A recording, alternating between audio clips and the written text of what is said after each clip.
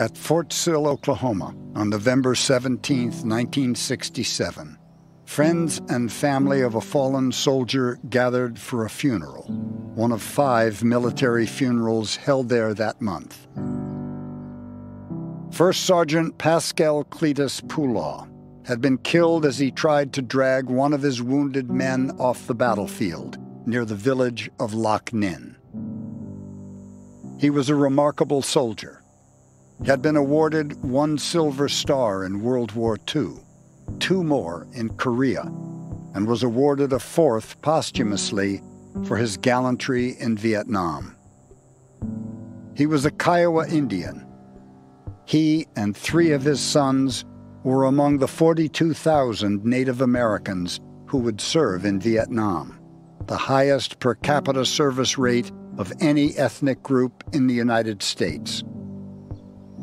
Pascal Poolaw's widow spoke at the ceremony. He has followed the trail of the great chiefs, she said. His people hold him in honor and highest esteem. He has given his life for the people and the country he loved so much.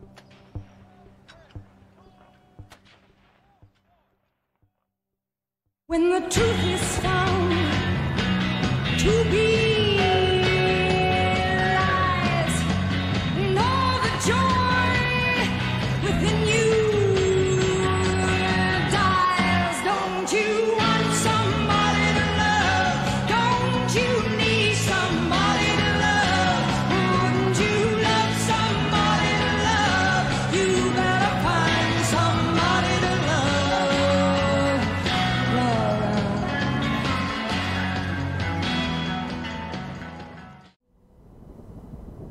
I happened to be at a conference at Tufts University, and uh, the dean there was a former ambassador who spoke to us late on that day, as it turned out, the fateful day.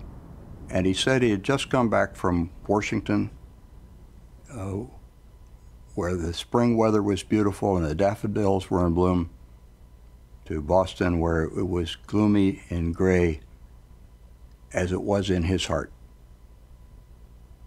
And people hissed him and booed him. I was there in uniform. One of my great regrets was that I did not get up and start laying waste to those people who disrespected the ambassador and his sorrow at the fall of South Vietnam. I got a call from the VVAW national office from some friends of mine from the old days.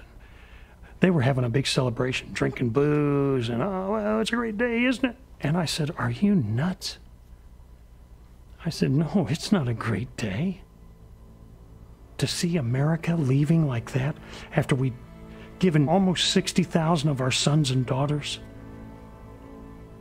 that wasn't something to celebrate. I knew we were abandoning millions of South Vietnamese that had trusted us, thrown in their lot with us. That wasn't anything to celebrate. I thought it was just one of the saddest moments I'd ever seen in American history. A South Vietnamese police officer walked to a memorial built to honor those who had fallen defending South Vietnam. He saluted it, stood there for a time, and then shot himself in the head. It was a very messy ending uh, to a very messy war. In Vietnam, we finally have reached the end of the tunnel, and there is no light there. What is there, perhaps, was best said by President Ford a war that is finished.